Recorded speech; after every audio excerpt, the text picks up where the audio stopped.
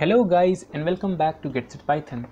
In this video we will see how we can execute our Python file without writing the command like python3 hello.py and we'll see how we can run this file without typing this extension and this python3 every time.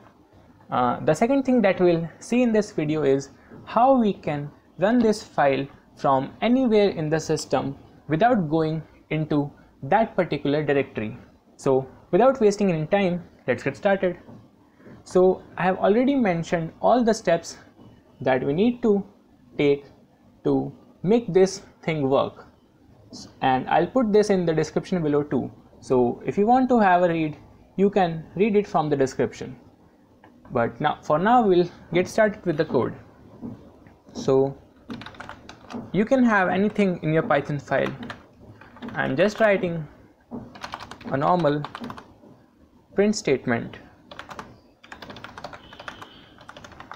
Okay and you can see that we can run this by typing python3 hello.py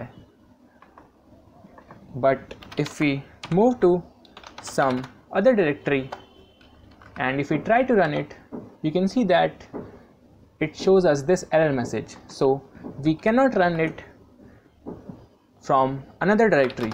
So now we'll come back to the original directory and see this is working. So the first step is to add this shebang line as first line in your python code. So i'm just copying this thing and i'll add it as the first line of my file now what it will do is it will tell us about the location of interpreter. Now I'm having two Python versions in my Ubuntu that is Python 3 and this Python 2.7. So I want to execute it using this Python 3 interpreter.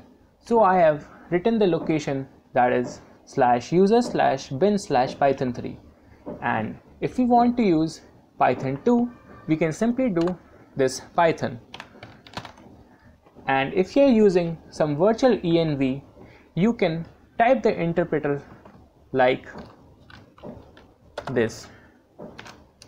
So you can have this thing here and slash home slash umang slash your project name slash when or whatever virtual env you have set up slash bin slash python or python 3 whichever version you have there. So this is how shebang line works and it will tell the location of interpreter. Now once this is done the next thing you have to do is to make this file executable. So for that the simple command is chmod plus x and your file name hello.py and you can see that after entering this command I can simply run my file by this dot slash file name.py and you see this is working fine. But still we cannot run it from any other directory by simply typing this thing. So for that we have to copy this file to our bin and the last thing that is to copy it so I'll type cp hello.py and we have to copy in home slash bin slash and here we can type the alternate name from which we want to call it. So for now just keep it welcome. So whenever we'll type welcome it will run this script so let's enter this and I'll show you the contents of bin here. And you can see that we have welcome here. Now these are the already made script that we can execute from anywhere. But you, you can see that we have welcome here.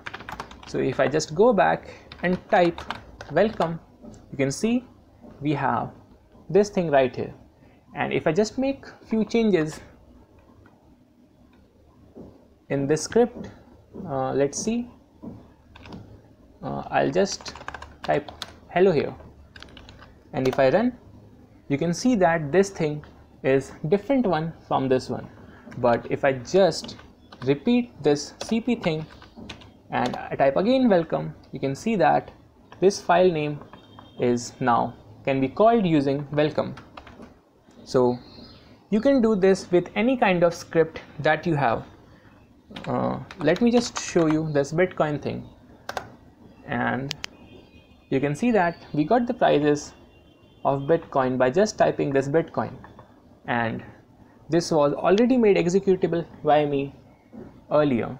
So you can see how simple it is to make your script run from anywhere. Now i'm just showing you by going into another directory. So if i just do welcome again you can see hello.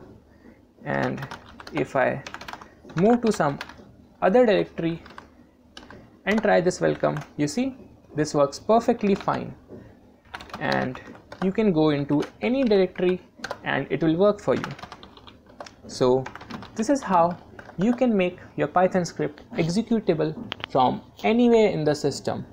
So the steps are first you have to enter this shebang line as your first line of code to tell the location of interpreter that you are using. Second is to make the file executable by typing this command plus x and your file name.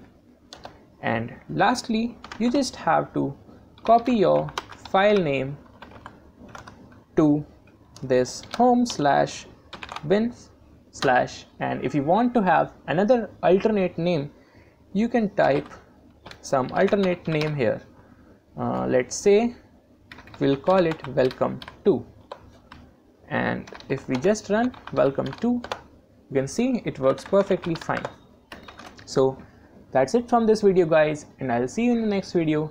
Till then stay tuned, bye bye and have fun with Python.